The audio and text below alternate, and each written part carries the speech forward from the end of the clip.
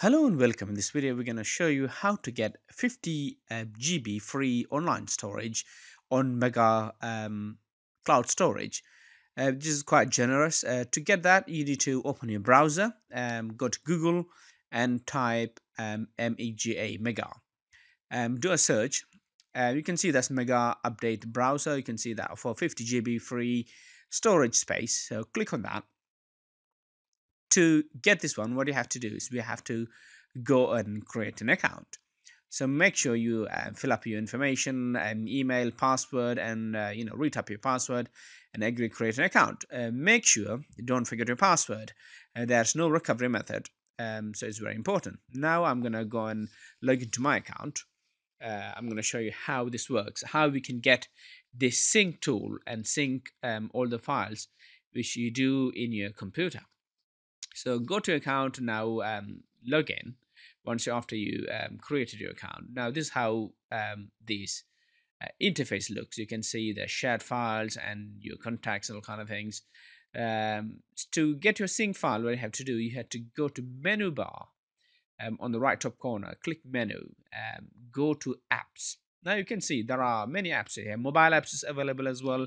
Sync client for Windows um, and, and, browsers um, add-ons as well. Now you can click Windows one.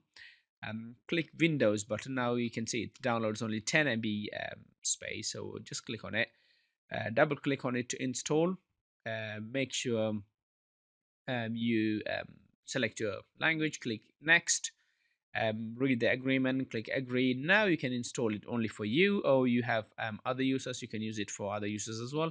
I'm going to click install just for me, click next and install. Uh, once it's installed, um, just open it, click run, make sure that text run is finished. Now this will bring up the wizard. So make sure that you know, you remember we have created an account, now you have to use that account to log in. Um, I'm going to use my account to log in. Um, bear with me a minute. So once you log in, so this is how these two screens um, shows. Full sync or select folder. So I'm going to click full sync. You can select the folder as well if you wanted to, um, you know, do what you want to do. So I'm going to click, click full sync, click next. Next, this is going to put in a folder where you can see all your files. Um, so make sure if you wanted to change it, click change button um, you know you can go ahead and change it where you want to put it. So now I have created a folder uh, called mega in under my um, user logins. So I'm going to go to go see users uh, my user login RF then I can um, you know choose the mega folder which I created already.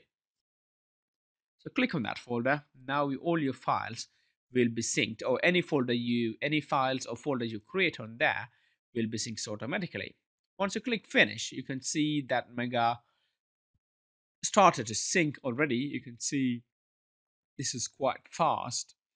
Um, that will oh now you can see that started to sync already. And now all the any files you have online will be pulled down uh, together, or any files you created on that destination will sync to cloud. Uh, let's go and test it with a test folder. Um, I'm going to go to C users, um, RF then I can go to mega folder. There you go. All my files are syncing. I'm gonna create a new folder uh, called test and picture. Let's see how this syncs up. I'm not going to put anything up there. I just wanted to demonstrate how this works. I'm going to call it as text test um, picture. Um, as soon as I hit enter this will start sync back to online so remember, I have already logged into my online account. So just go there, go to open the browser, uh, click back on uh, my drive. Now you can see that's test picture It's already um, synced back. It's quite quick, very good platform. So make sure you don't remember the password. Uh, don't forget the password. Keep remember.